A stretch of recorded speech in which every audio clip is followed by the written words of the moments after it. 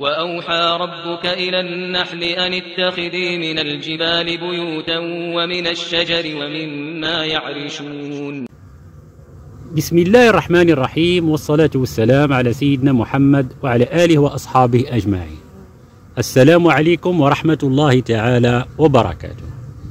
هناك بعض الناس عندما يشاهدون النحل بهذه الطريقة يظنون بأن النحل في حالة هجوم أو أن النحل يريد التطريد أو حدث للخلية شيء ما.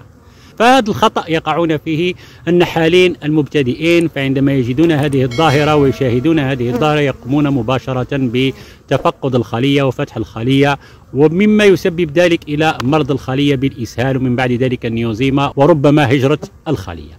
فلهذا إخواني أنا أقول لكم بأن هذه الظاهرة عندما تشاهدونها في منحلكم فلا داعي للخوف. أول شيء ماذا تفعل؟ تتفقد في أرضية المنحل أسفل الخلية إن لم تجد نحل ميت وإن لم تجد نحل مشوه الأجنحة فلا داعي للخوف. هذا الأمر الأول. الأمر الثاني هذا النحل كما تشاهدون وهو صغير في السن عمره 12 يوم إخواني.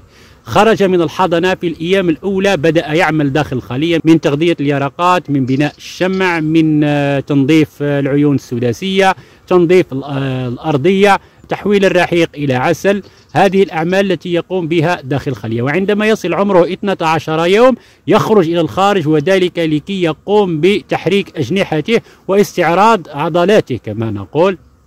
ويصبح قوي إخواني عندما يخرج إلى الخارج ويقوم باستعراض عضلاته يعني تحريك أجنحته. وهنا يعرف النحل بأنه آه، سليم أو غير سليم. يعني عندما يخرج ويطير ولا يستطيع الطيران فسيسقط على الأرض ويموت. لكن الذي يكون أجنحته سليمة يخرج إلى الخارج يطير كما تشاهدون هكذا ويقوم بتحريك أجنحته ويدخل إلى داخل الخلية ويبقى يعمل لمدة تسعة أيام داخل الخلية أو عشرة أيام داخل الخلية ومنها حراسة الخلية. يقوم بتحريك أجنحته لتدفئة الحضنة يقوم بتحريك أجنحته لنزع الرطوبة من العسل يقوم بتحريك أجنحته لتعديل جو الخلية من الداخل وأيضا يقوم بالحراسة أمام باب الخلية.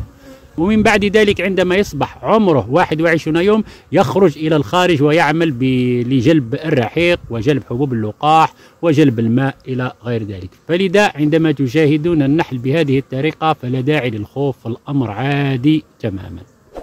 الأمر الذي غير عادي وهو أنك إذا وجدت نحل ميت على الأرض إذا وجدت نحل ميت على الأرض فيعني هنا ربما حدوث سرقة أو أن الخلية تعرضت لهجوم أو شيء آخر. لكن إن لم تجد نحل ميت على الأرض فلا داعي للخوف ولا تفتح الخلية. لأن فتح الخلايا في هذا الوقت يكون من شهر إخواني من 21 يوم إلى شهر وفي يوم مشمس ودافئ ولا تكون فيه رياح.